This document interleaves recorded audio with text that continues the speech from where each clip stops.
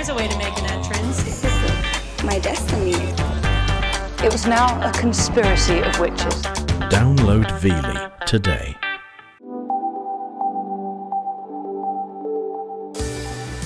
The MSC Seaside is one of the biggest cruise ships in the world. Built at a cost of over £1 billion and weighing in at 160,000 tonnes, it's home to more than 6,500 people.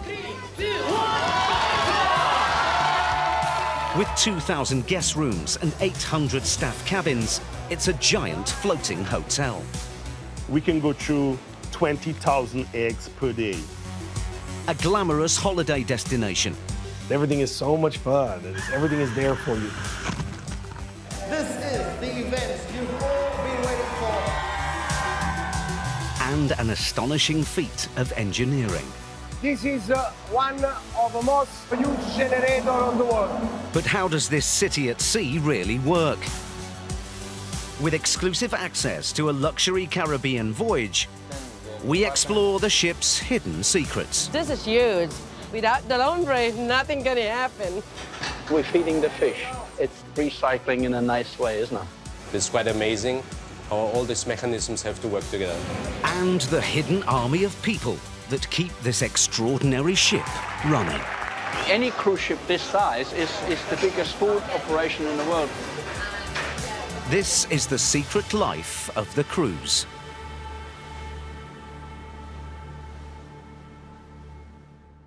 It's 7 a.m. on Saturday, and the gigantic MSC Seaside has just docked in Port Miami, the biggest cruise ship terminal in the world. In just 12 hours' time, this floating city is heading off for a week-long cruise, traveling more than 2,000 miles across the Caribbean. But before then, it needs to be transformed. There are over 2,000 rooms to clean, 5,000 passengers to disembark, and 15,000 pieces of luggage to come off in just a few hours. Then the ship needs to be refueled, restocked, and refilled with passengers all over again.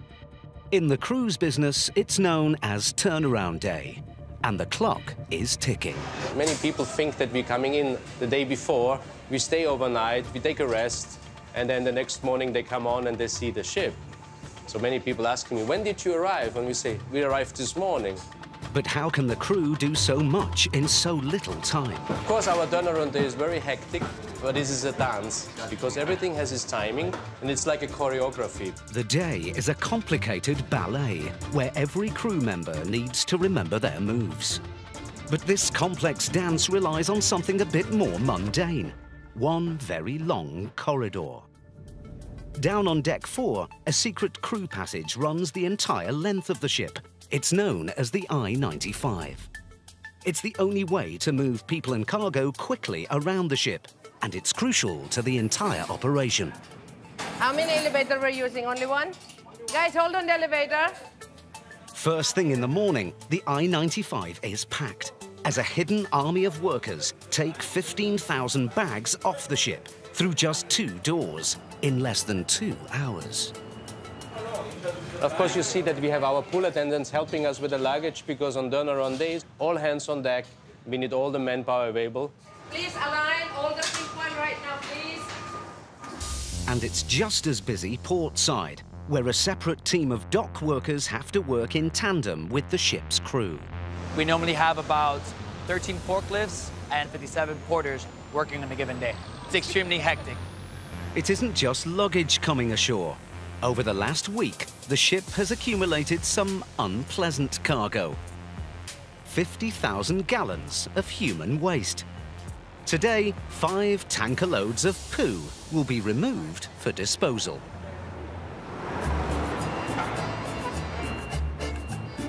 For the turnaround machine to work, the ship has to be loaded at the same time it's being emptied. This morning, it needs to be stocked with enough food and drink to last the entire week. This is for those cones, you know? This is for decorations. Dove la cattiva? Dove la... Giuseppe, dove sono le aragoste qua? Ben Mohammed is in charge of the operation. Eh, l'altro muchacho, eh, questo è il punto. Now this one is a lobster inside, you have to go on board. Every week, I'm talking, is a chaos. but the chaos have a limit. In six hours, Ben and his team will load 160 tons of food onto the ship, worth over a million dollars. Throughout the morning, lorries arrive from a complex network of warehouses and suppliers that stretches across the world. It's a very complex. We used to be not more than 1,200 guests. The ships are bigger and bigger and bigger. Today is more sophisticated and it's a lot of area to control too, you know. Of course, it can work like wild old machines, you know, like a Swiss wash machine, okay? All of this food needs to be loaded onto the ship through a single door.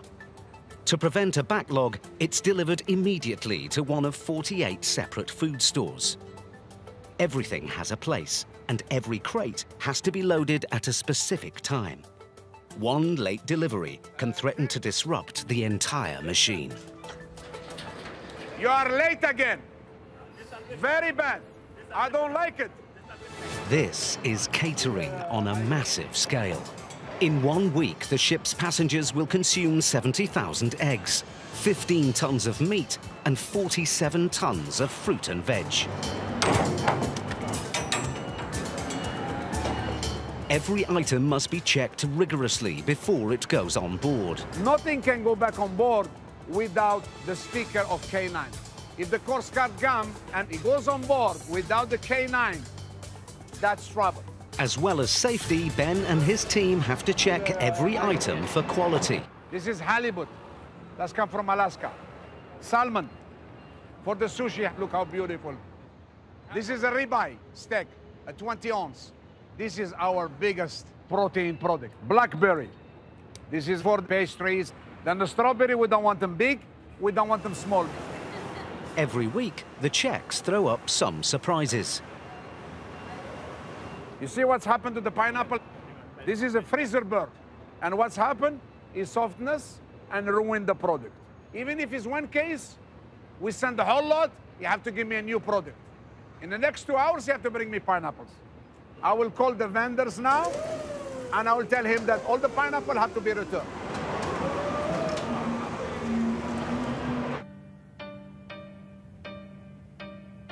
Moving luggage and food is only half the battle. The most important job on turnaround day is to move people. All passengers have to be off the ship by 11.30 a.m. This moment is known as the zero count. If any guests are still on board, it means that none of the new passengers can get on. What's the 1030 count, if you have it for me, please? On board 500, 500 on board at 1030. Thank you very much, Miss Ruby. Let's get them out quickly. New passengers are already arriving at Terminal F, where the Seaside is docked. Built specifically to handle this ship, it's the biggest terminal at Miami Port. And it's already getting busy. We're actually about 120 people left on board, and we already have about 200 people checked in. This is probably the most nerve-wracking point of the day, when you're right between getting people off and getting people on. At this point, we start searching people, looking for them in the rooms, around the pool, the open bars, Uh, and just making sure we get down to zero people as quickly as possible.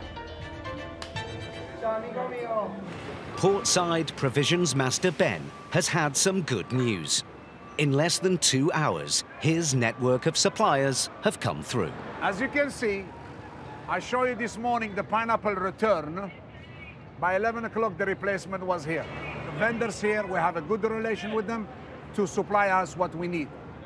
Giorgio, listen, and thank you very much. It just arrived now. I see the pineapple coming out. Thanks, Giorgio. Thanks. Have a good day. The ship is also being stocked with everything else it needs for the following week, from 7,000 rolls of toilet paper to replacement engine parts. The technical part, the medical part, just name it, you know. For a seven-day trip, the ship also needs more than a thousand tons of fuel. Back above deck, the last of the passengers are finally making their way out.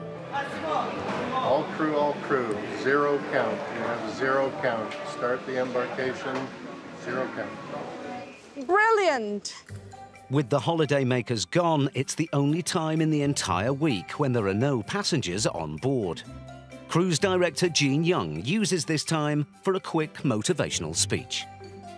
Well, attention all crew, attention all crew. This is your cruise director, Gene Young speaking. Congratulations on finishing another incredible voyage. I put the challenge out to you, my friends, my family members. This cruise, let us say hello to each other. Let us be the best that we can be because you are the best. You are wonderful, and our guests love you. Let us do it. Let us do it great, and let us do it again. Thank you. The respite doesn't last for long. Five minutes later, it's time for boarding. So stand by for boarding. And the week starts all over again. By midday, the front desk is checking in up to a thousand passengers an hour. The holidaymakers are already exploring the ship.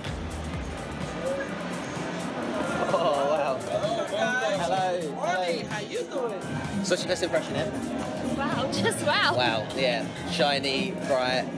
Can't wait to go have a look around. So we're about to go into our room. Oh, it's open. It's open. oh, you're hiding. Oh my gosh. This is nice. This is nice. Oh, wow. What a massive mirror. Downstairs on the I 95, another group of people are getting their first glimpse of the ship. And things look very different down here. You know in China? Yeah? Where are you coming from? Honduras. Honduras? Yeah, Philippines. Philippines. How are you? Welcome on board. Yeah? On every cruise, there are up to 200 new members of staff, as up to a tenth of the crew leave for holiday or to work on other ships. This room is that we uh, receive our crew members. We're going to make all the paperwork for immigration. We're going to sign them on. They get their cabin assignment. At the onboard uniform store, they have to keep uniforms for every job, in every size. Just one tiny part of a hidden world, but crucial for keeping this ship running.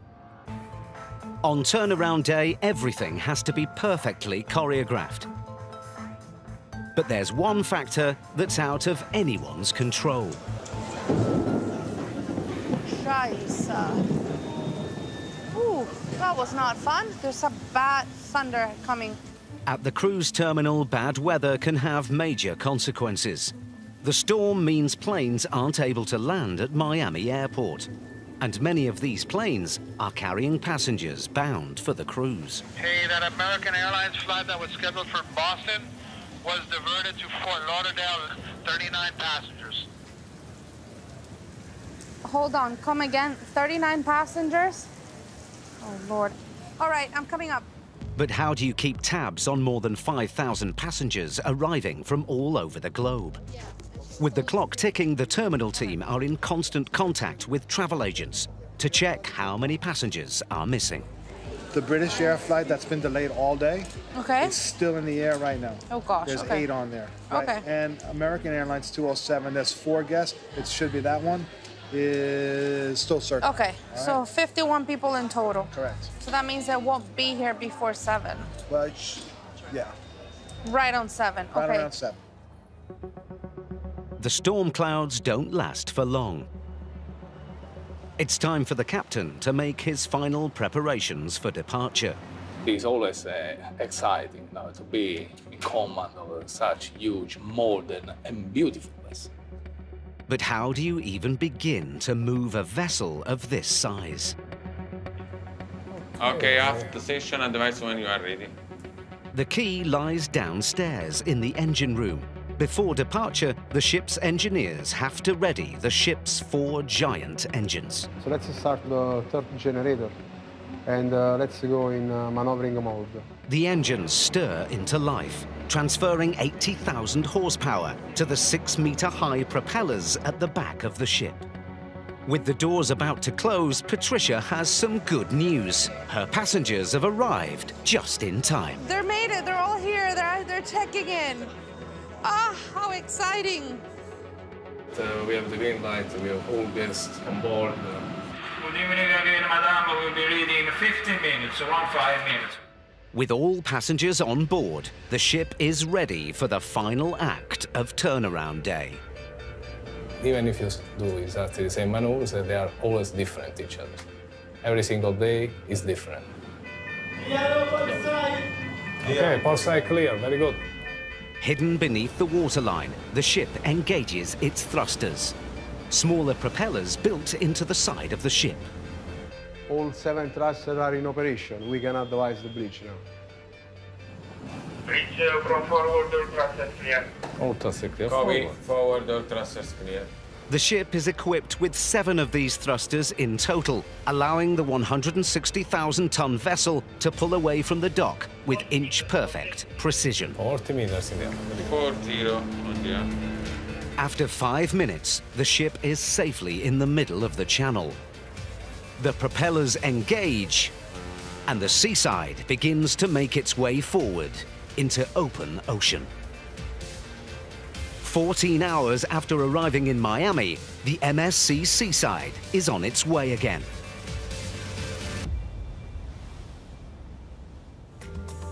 For most of the next week, the ship will be at sea, with 6,500 people on board. But what keeps this sea-bound city afloat 24-7? This is uh, one of the most huge generator on the world.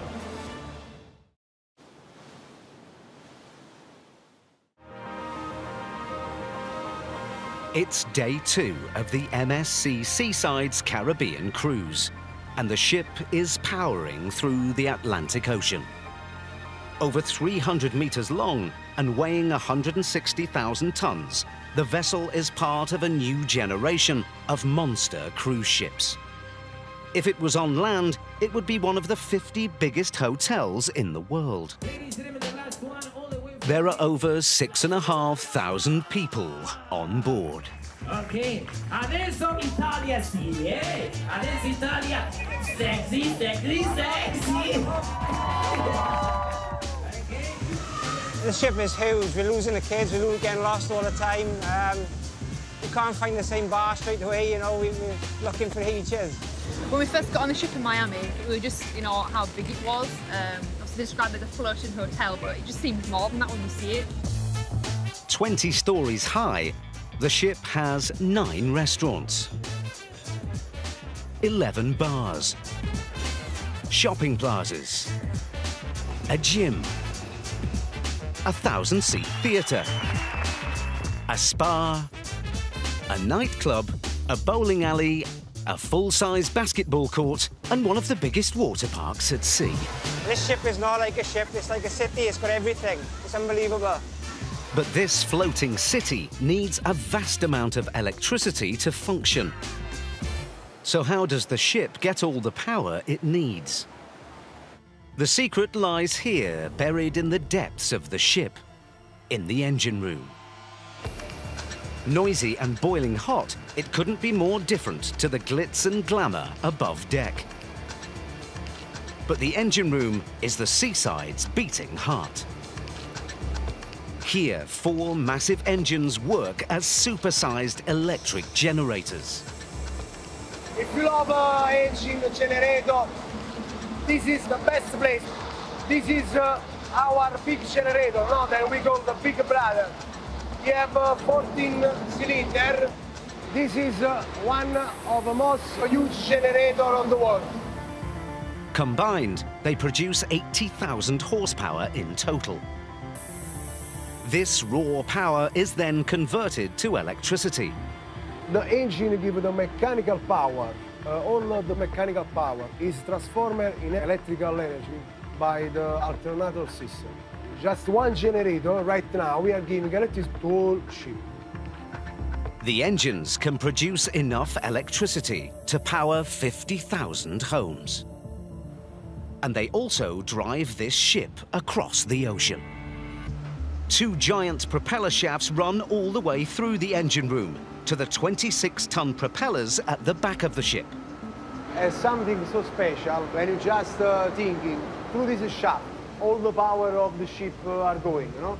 And Just on the other side, you have the, the propeller.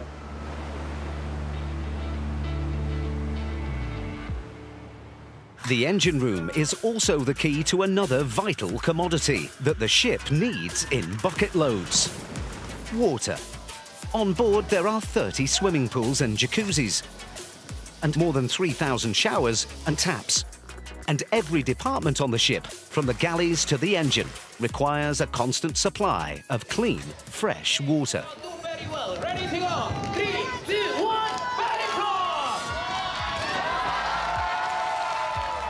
In total, the ship needs 250,000 gallons of it every day. So how does it quench this thirst?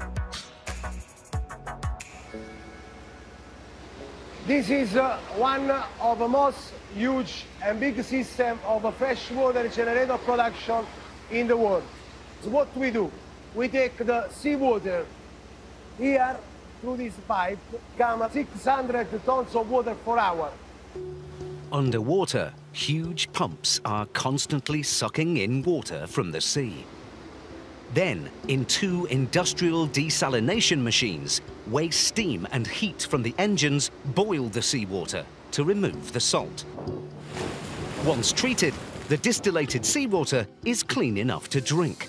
It's pumped throughout the ship. This water come out from our shower or from our hand wash. And for swimming, pool, jacuzzi, everywhere you see water, come from this system. The system can produce 3,000 tons of fresh water a day, enough to fill 400 of these swimming pools. But this floating hotel doesn't just rely on secret systems. It also depends on a hidden army of people. Every day, 60 cleaners are constantly at work, cleaning the ship's 20 stories of staircases and 10 kilometers of corridors. Meanwhile, a team of 112 cabin stewards have to strip and make more than 2,000 beds. A thousand of these linen bags are filled every day. But how does the ship deal with so much laundry? Hidden away on deck three, another department is absolutely crucial to the smooth running of the ship. Oh, this is this is huge. Without the laundry, the ship is not operational. Everybody thinks the housekeeping and the dining room without the food cannot be operational. No, without the laundry, nothing can happen. Almost everybody on board relies on regular deliveries of clean laundry. In one day, they have to process 14,000 pool towels, 10,000 sheets, and 60,000 napkins everything come down here. If you're looking at the hotel in Las Vegas, they have 2,000 rooms as well. The difference is in the hotel, they have different uh, laundry operations that they bring it to them every day and they collect the dirty ones. In here, everything is in-house and so everything is need to be connected within your operation. If one machine broke down, I'm already on a crunch time because the restaurant cannot operate without the tablecloth and the napkins. To get through this never-ending deluge of linen, the laundry is staffed round the clock by a team of 28 people.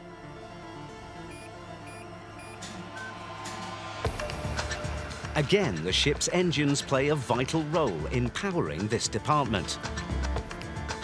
They produce huge amounts of waste heat and steam, which is harvested before being piped here to the massive machines.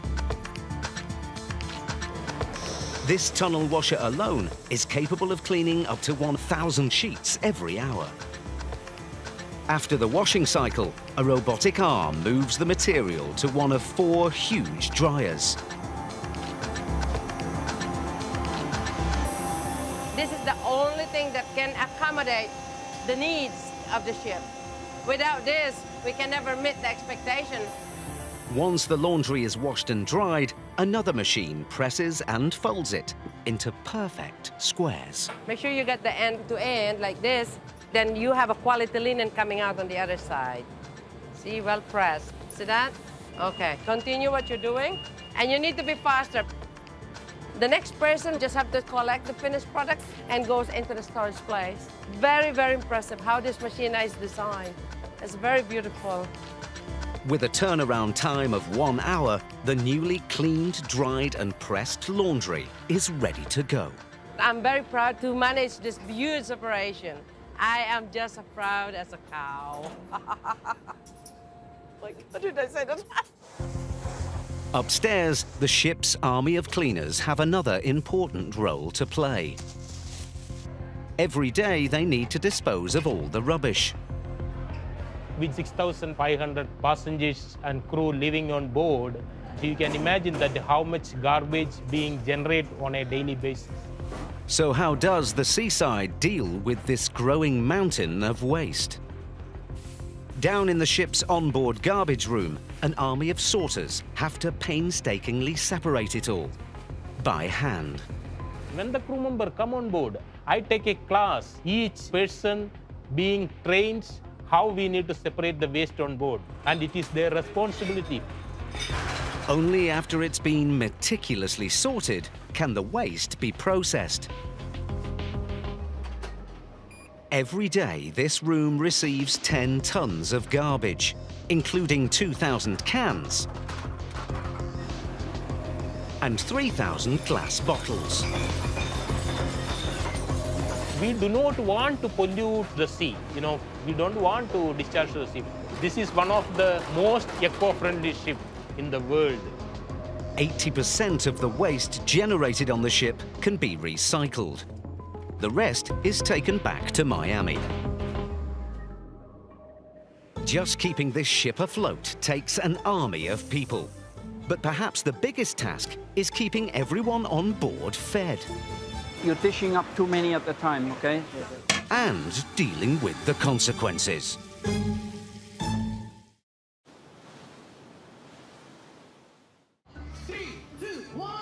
It's day three of the MSC Seaside's Caribbean cruise, and the ship is on course for Jamaica.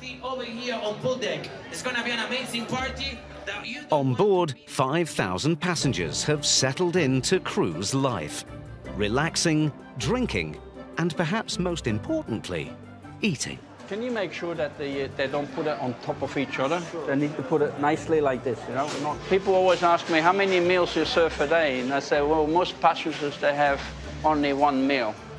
They start in the morning and they finish at night. They eat continuously. It's only one meal for them, right? But how do you go about feeding the 5,000? The key is sheer manpower. 800 people work in the food and beverage team. That's more than half of the entire crew. Together, they cook, plate, and serve 15 tons of food a day. Hola, buenas noches. Every evening, passengers eat at two massive restaurants. Capable of serving 1,500 people at a time, they run three separate sittings a night. First sitting, very quiet. Second sitting, very busy. And extremely busy on the third sitting, okay? Let's go and get them, huh? Thank you, guys. At 5 p.m., the team kicks into action. With 250 well-drilled crew members working in two huge galleys, Thomas has to make sure everyone is up to standard. Don't cook too much fish in advance, okay? Pieces like that don't need to be on there, right? Don't serve that, okay? Okay. You make sure you, uh, you're decorating the food with chopped parsley or something all the time. Any cruise ship this size is, is the biggest food operation in the world because it's not like a hotel. A hotel might also have 5,000 beds, but half of them don't eat in the hotel. Here, they have no choice. There's nowhere else they can go. But the galleys are only one part of a vast catering operation. Behind the scenes, there is a hidden labyrinth of stores, fridges and freezers stretching over 15 floors.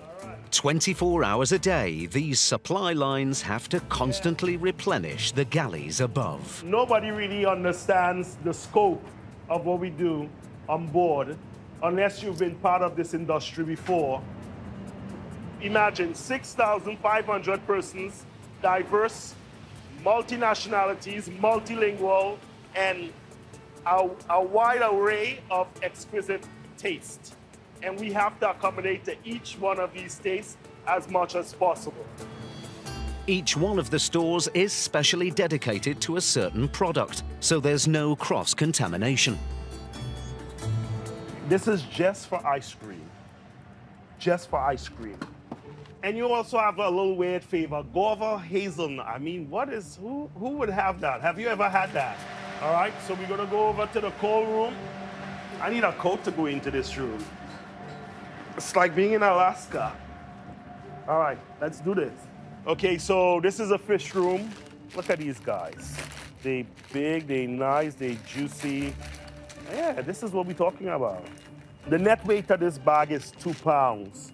Uh, just to let you know, in a night, yeah, we can consume over 1,500 pounds of shrimp just in one sitting, yeah? It's the same like when we do eggs, you know? We can go through 20,000 eggs per day, easily, 20,000 eggs. So. Every item in these freezers needs to be defrosted at the exact right time.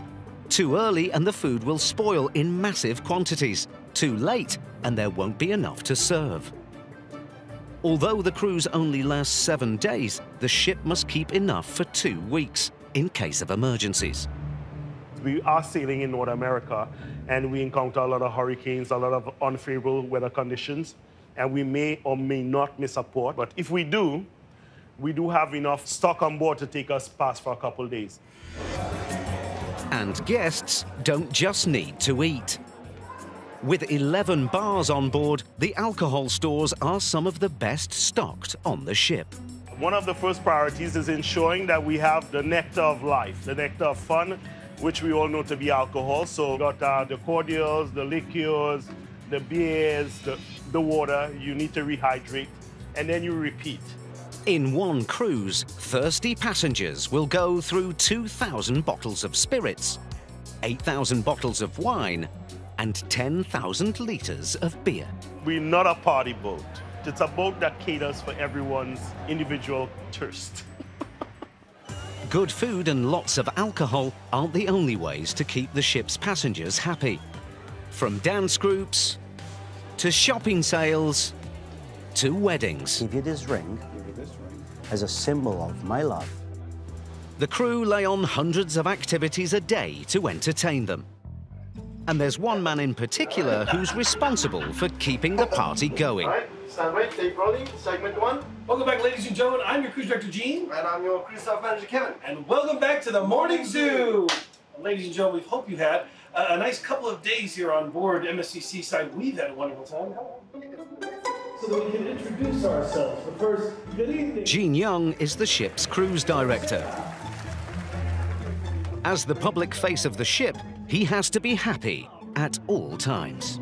They're looking for a Disneyland experience. Everything is so much fun, and it's, it's everything is there for you. This city of fun, this uh, city of uh, city of pleasure. I define the excitement, and I define it because it is it is there and it can be defined. Look how wonderful this is! Aren't you having such a neat time? But what's the secret to keeping more than 5,000 passengers happy? The first rule is to be very nice to everyone. I like your bikini. That's nice. All right. I studied people, studied their emotions, how to drive their emotions. As a cruise director, I specifically tried to figure out how what are people thinking? What what brings them anxiety? What brings them joy? Hi, how old? It's got to be. The second rule is to practice. I, I hate to say it, but it is rehearsed spontaneity. I rehearse trying to make sure that they can relax so they can enjoy. And uh, so it's something that I rehearse all the time. The ship's huge restaurants are coming towards the end of their first sitting. And in the galleys, a dedicated team of workers are slicing and dicing a mountain of produce. They're helped by some industrial-sized equipment. It's basically uh, washing our fruit before we process it. A machine like that you probably would only find in a commercial plant where they make uh, canned fruit and things like that. We've got one here, beautiful. It's just the right length for me. to have my jacuzzi, no? we can actually have a spin dryer in there when you have a different kind of fruit, almost like a, a closed spin dryer. This is probably the cleanest pineapple on the ship right now that we have. Together, these machines can power through 300 kilograms of fruit and veg every hour. In all my time of uh, working on cruise ship, this is the first time that I see this kind of technology on a ship. It's the state-of-the-art stuff. The chefs also need some super-sized kitchenware. Some of these uh, boilers, they hold about 300, 250, 300 liters, some of them. And uh, this is what we need here, you know. When we make tomato sauce, I make 300 liters every day. Just tomato sauce, every day. And it's gone at the end of the day. Even the dishwashing is an industrial operation. After each sitting, every single plate needs to be washed.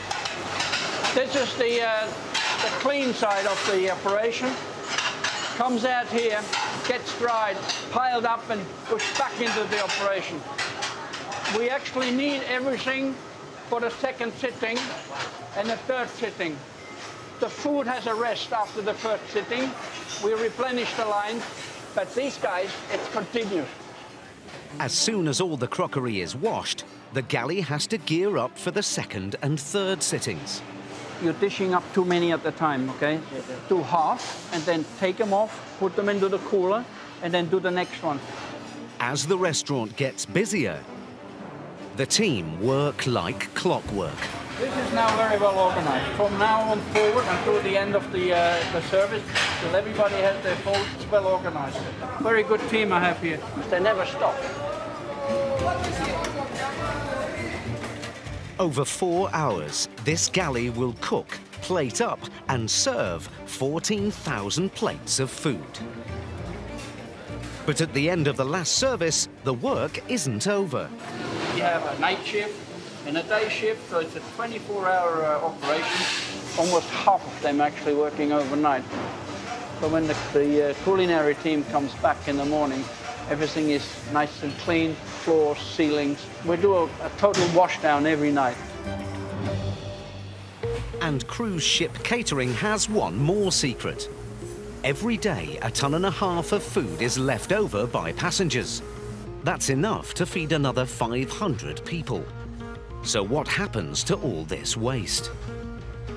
In each galley, giant grinders crush the leftovers before it drops three floors below where it's stored in tanks. Then, when out at sea, the ship discharges this waste as fish food. Sometimes on a day when we're allowed to discharge the uh, food waste, uh, you can spot some dolphins out here and they're following us because of that, you know. So we're feeding the fish. It's uh, recycling in a nice way, isn't it?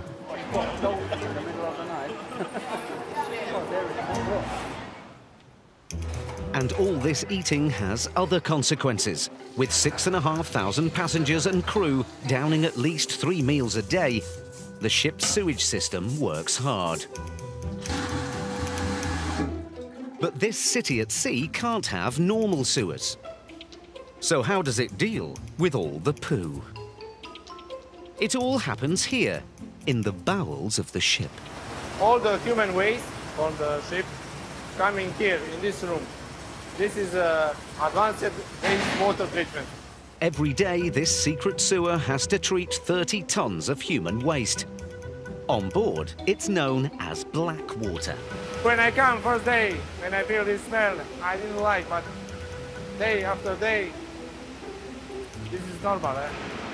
Nobody like uh, the work here because you smell. Also, it's very hot, but what we can do? Somebody must keep this system in good condition. The seaside has its own specially developed system for processing the waste. First, under huge pressure, the solid is separated from the liquid in a pressing machine. The liquid coming here and going to stage one. Solid coming here and going down in the slurry tank. The solid waste is removed every week in Miami. The liquid needs further treatment. This is uh, stage one. Is very dirty.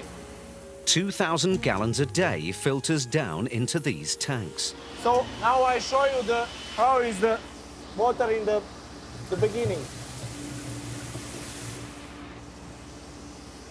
You can see the color. It's very, very, very dirty. The black water is filtered until it's almost as clean as drinking water. The water pass the filtration, separation, pass from this membrane and uh, coming to here in this tank.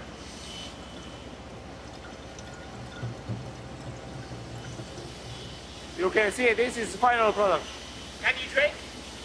Yes, if you want. This water doesn't get drunk. Some of it is siphoned off to cool the massive engines. The rest is safe enough to be discharged into the sea. The cruise is reaching its halfway point, and tomorrow the captain and his team face one of the biggest challenges of the entire trip. You risk uh, to create a serious damage to the ship. There are no marginal mistakes.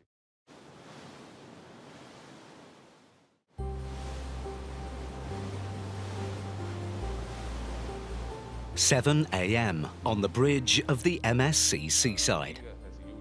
She's travelled almost a thousand miles from Miami and in one hour is due to dock in Ocho Rios, Jamaica. But the port throws up some particularly difficult challenges for a ship of this size. This is the port. I mean, here is just a big coral reef that we enter from this direction. As you may see, a vessel is docked here, reefs are here. If you just delay a bit uh, the moment that you start to change your route, uh, you can easily hit something, or if you don't control well your speed, you can easily ground, which is even worse. So yeah, the vessel at the end finish uh, very close. There are no marginal mistakes. So how do you navigate something this complex? While out at sea, the ship travels on autopilot. But as they approach land, the captain assumes full control. Okay, we can keep proceeding with this course speed, no problem. Okay. Now, if anyone on the bridge makes a navigational error, the ship's computer will not correct it. As the seaside enters the narrow port, the key is to slow down as much as possible. Midship the wheel. Yes, midship. It approaches first at three, then two knots. Any faster, and the 300 meter long ship will be almost impossible to control. Thrust 30% uh, to starboard. By this point, the ship is less than 200 meters from another vessel and 150 meters away from surrounding reefs. It now needs to pivot 45 degrees towards the dock without any forward movement. The ship is so big that the team move to the bridge wing. Okay, hand over the wheel, hand over the wheel, over the wheel. Take over the wheel on the starboard wing, and take over all the control. Here they have a better view of the pier, while maintaining full control of the ship. Underwater, the ship's seven thrusters kick into action, rotating the vessel towards the dock with inch-perfect precision. And that's the most complicated moment because the vessel weight is 160,000 tons. The water around is not really very much. There are a few meters water under the keel. The ship is so close to the seabed that the thrusters force the silt to the surface. Any more speed and the ship could sink lower in the water and run aground. This last part of the job is the most delicate of the entire job. Slowly, slowly, softly, softly. That's it. Okay. Yes, the bridge on forward no, Stop us. Despite the fact that maybe you have a residual speed of uh, 0. few knots, maybe 0.5, if you hit with that residual speed uh, any concrete things, uh, you risk uh, to create a serious damage to the ship. Meters away from the pier, all the thrusters stop turning, and inch by inch, the ship drifts into position. You should uh, really land softly with zero residual speed. In practice, I used to say it's like kiss the pier. 405 clear. We are in position.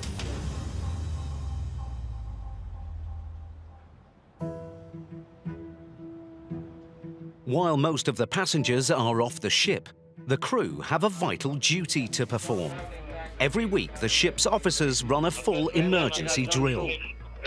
Uh, check on aft part, aft part. During a maneuvering, we hit the pier on the compartment approximately four and five. Today, the officers have come up with an emergency scenario to test all the crew. Uh, Captain, we understand the compartment affected are uh, five and four. Safety officer Marco is dispatched to assess the extent of the imaginary damage. Bridge closing down on compartment number four by the um, vertical escape. For speed, Marco uses the ship's vertical escape ladders. Bridge, bridge. Hidden passageways running from deck 1 to 4. Bridge on deck one, compartment number five. We have two meters of water on deck one, compartment number five. Compartment number five, we have two meters of water. The ship is divided into 10 vertical zones. In an emergency, they're designed to be watertight to contain any breach of the hull. For today's drill, two of these compartments are supposedly taking on water. Charlie Alpha, Charlie Alpha. As soon as the bridge sounds the crew alert, every member of staff has to drop what they're doing. All the crew members on board, they have a second duties in case of emergencies. They can be people in charge of the evacuation, people in charge of medical team, people from fire team, lifeboat preparation. They have uh, many, many different duties all around the ship. The safety officers check that the crew are confident with their duties by pretending to be lost guests. Can I stay here? No. Why? I want to just spoke with you. Few, mi- few minutes. Please carry on your way. We try sometimes to scare them, to give them pressure in order to maybe feel what can happen in a really emergency. It's the only way. What are you doing? You are waiting there? Yeah, remaining calm. Yeah, of course. When you can leave your position? When the when it's over? No? Never. No. A few of them were really under pressure during the, the test. We need to work in order to improve their performance, but it's okay. The drill is over.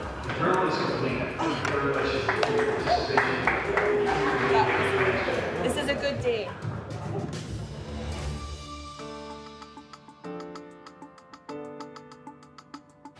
With the drill over, the crew can return to their normal jobs. But what's daily life like for the 1,500 crew members living on board? Hidden within the ship, there is a second city, one that passengers never get to see. Here, in a maze of corridors, there are three crew restaurants, two private crew bars, Mi casa es su casa. Come in, come in. and 740 crew cabins. So this is uh, my cabin. I'm uh, a senior officer, so it's a larger cabin and I don't have to share it, which is uh, a big perk on uh, ship life. Uh, but you can see, really, it's not um, the biggest space in the world either. But on a, a big ship, this is all that I get to call my own. The officers are lucky. This is our corridor. Most of the crew live in less luxurious surroundings. Here we are, home sweet home. When you're in these cabins, you're a bit like oh, Stuck. You feel a bit stuck and Confined. confined. Yeah. Beds. Jess is on the top bunk. I'm on the bottom bunk. I miss waking up and like looking outside of It the is a bit strange and not having a window in here, and we don't really see daylight for quite a while. Yeah. It- then when you do go outside, your eyes are a bit like, Yeah. like, ah! but it's but then when we want to have a nap, it's good Great. because it's pitch black in the rooms. There is the bathroom, sink, toilet, and then the shower. For us guys, the only real time we're here is when we're sleeping. It's just a base, you know. we are you very don't- rarely in here. I think crazy is the word we'd use to sum up this whole experience. Yeah. Crazy. It's like living in a little bubble. Mm-hmm. We call it a ship bubble, don't we? Ship bubble, yeah. Yeah. it, you're in your complete own little world. We work together, eat together, we do everything together. And life on a cruise ship can be a lot of fun. So nice. So nice. So. All of us entertainers are getting off. Hey. Freedom. This is the this is, this It's the privilege of doing a cruise, guys. Old trolley. Just done the shot. Stocked up.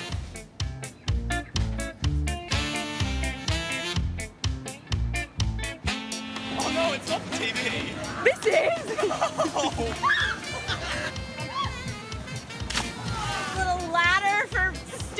stupid little people. Now it's back to the ship. Shit, back to our little floating home. After a few hours off the ship, it's back to work. Then, with all passengers and crew back on board, the Seaside sets sail again and heads out into open ocean. With one of the biggest live theatre shows at sea, what does it take to entertain 5,000 passengers three times every single night? Costume after costume, headdress Yeah. after headdress. Trees, we have trees. oh, wait, hold on. I'm- Ow!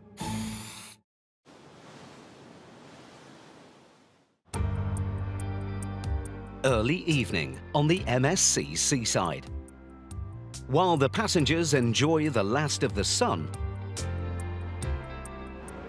the ship's in-house theatre company are in the midst of rehearsals. So let's check now the fit position now. Tonight is the premiere of a brand new show, and there's some last-minute work to do. Ladies and gentlemen, you've been dancers of MSC Seaside, and we're part of a cast of about 40. We, we live not more in the changing room than Yeah, we do yeah, in our cabins. we, uh, Spend more time here where we get than ready. anywhere else. Yeah. Like everything on this ship, the entertainment comes super-sized. Every single night, the company performs to up to 3,000 people across three shows. That's a bigger audience than in any theatre in London's West End. There's a full-scale lighting rig, a state-of-the-art sound system, and a dedicated backstage team. Even the props and costumes have been specially commissioned for the ship. And here we are greeted. This is Ruben's dad. By the, di- by the dinosaur. Do you What? know the dinosaur? Do you know the dinosaur? There we go, we've, we've named it. And it has a camera, so the person Who's inside? who's inside. Oh, wait, hold on. close. Ow, that's spiky. So his, his eyes move as well. Guys, it has a little fan in there.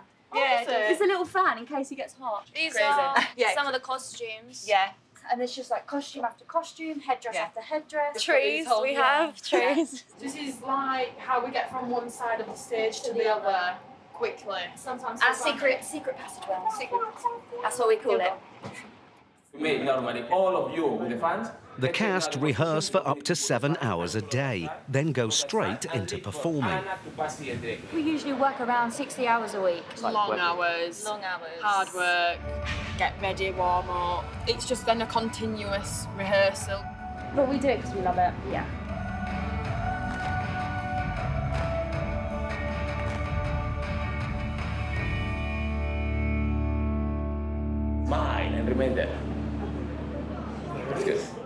With rehearsals over, the cast have just over half an hour to get ready for the premiere. I get nervous, but I think I've always been like that. But always like good to have a bit of nerves. Still, every time before curtains open, Yeah. I need a little week. Why am I so late? I think we're excited. Yeah. I'm looking forward to it. Because we've worked for it. Do you know what I mean? We've worked, so I feel like it's finally time to show Yeah, an to show audience. what you we've feel done. the new one's like going to be amazing. Ladies and gentlemen, this is Timeless.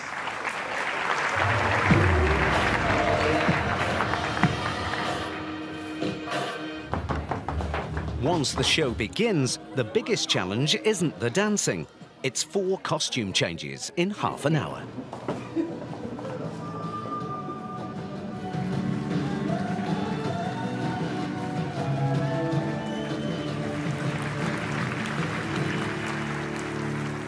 After the show, the cast have no time to celebrate. There are two more shows tonight. One down, two to go. Yeah. Once we've finished doing our makeup, again, redoing our makeup, it's straight to show again. 15 minutes later, it's curtains up again.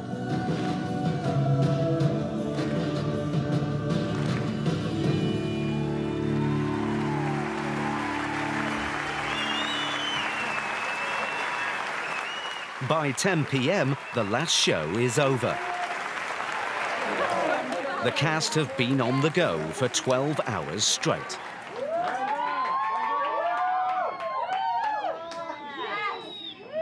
Now asleep? Yeah, now beer. Nah, I'm having a drink. Now beer.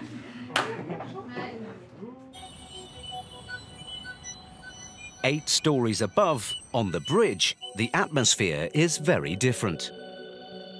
The vessel is still motoring through the ocean at 22 knots, but the captain can't work 24 hours a day, so who's in charge? Throughout the night, three-man teams work shifts on the bridge. Their job is known as the watch. We are uh, just outside the, the, bridge. I'm uh, first officer and I'm uh, head of the watch. The bridge must remain pitch black at all times throughout the night. The first five minutes are not easy because it's all, all black, you cannot see nothing. Each shift lasts just four hours. Any longer, and there's a risk that the watchers could lose their concentration. Current is uh, pushing, pushing, yeah. yeah, pushing to north. Yeah, I take, uh, I take the charge at the going, okay. The bridge is equipped with millions of dollars worth of modern equipment. But at night, the watch relies on some much simpler technology. We are watching the other vessel moving.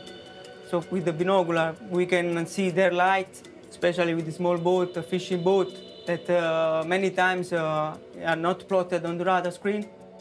Looking after this billion-pound vessel is a huge responsibility. We have 1,000 passengers and 1,000 crew members. So if uh, we make any mistake on the bridge, there are many people here. And our job is to let them feel uh, safe.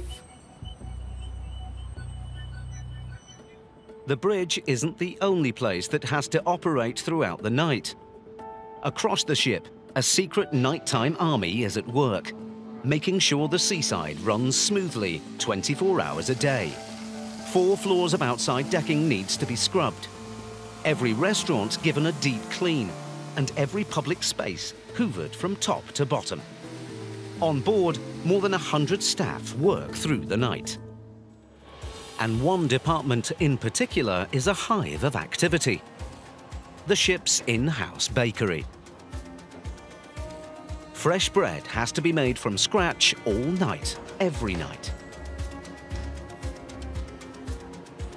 In the bakery, working 24 hours.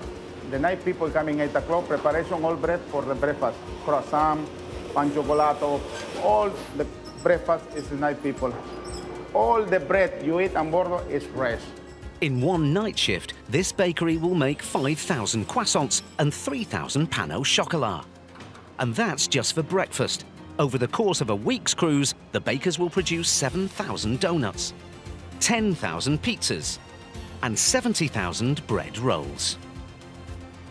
To make life easier for the crew, the bakery is stocked with state-of-the-art equipment, like this, which cuts cakes using a high-pressure water jet. It can slice more than a thousand cakes every hour. Everybody, collaboration. For example, one people make the dough, one people working the table, one people put the proving, one put and the oven. When coming outside, I want to see the bread is perfect. The final task of the night, to prepare the decks for another busy day. Then, as the passengers begin to get up, the night team heads to bed. Another shift finished on the ship that never sleeps. The ship is on its way back to Miami, but there's one final challenge to face. They all agree that this is one very narrow, very fast, crazy place.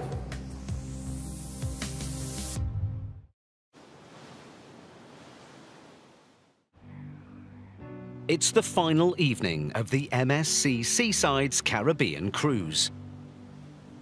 But as the ship heads back to Miami, the crew still have one major event to put on.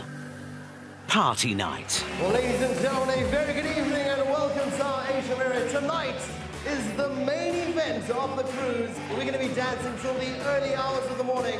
This is the event you've all been waiting for. Ladies and gentlemen, tonight is our white party. Here we go. It's the biggest night of the cruise for the guests and for the ship's tireless 12-person entertainment team. They're kind of like the front line. They're the ones doing all the events, and they're the ones that are pretty much responsible of making sure that all the guests have, a, uh, have an amazing holiday. With crowds of up to 2,000 people, the Seaside's White Night is one of the biggest parties at sea. The guys on my team are incredible. They work really hard to do it for eight months straight, every single day, no no weekends off. You know, it takes a, it takes a special person to to make that happen. If they're happy, then all the guests are happy. In just one week, the ship's 5,000 passengers and 1,500 crew have eaten 160 tons of food and drunk 8,000 bottles of wine.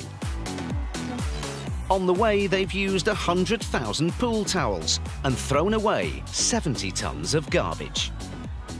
And the huge ship itself has used more than 1,000 tons of fuel and 2 million gallons of water. But the journey isn't quite over. After all the passengers go to bed, the bridge team have to prepare for perhaps their most difficult challenge yet how to bring a 160,000 ton ship into one of the narrowest ports in America in the pitch black night. By 4 a.m., the ship is one mile outside the port of Miami. They might have all the latest technology on board, but to get into port safely, they need some expert local help. Captain John Nitkin is a Miami port pilot it's his job to guide these massive cruise ships safely into dock. This morning, he's meeting up with the Seaside. MSC Seaside, good morning. We are outbound to you now. What side is your pilot ladder? Okay, we copy port side. Very good. We are headed to you now. We always ask the captain, have you been to Miami before? And if they say no, we tell them you're in for quite a, quite a ride. And after, they all agree that this is one very narrow, very fast, crazy place. There she is. She's a beauty. She's the, the biggest one in Miami right now. First, the most dangerous part of the whole maneuver for John he has to jump from his moving boat up onto the seaside. There have been a lot of accidents and pilots lost climbing that ladder.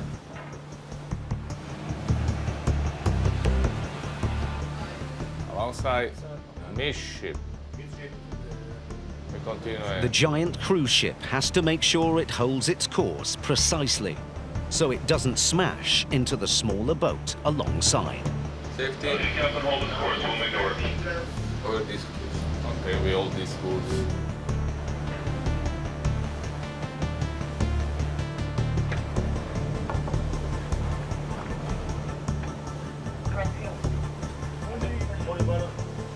Once on board, John heads straight to the bridge.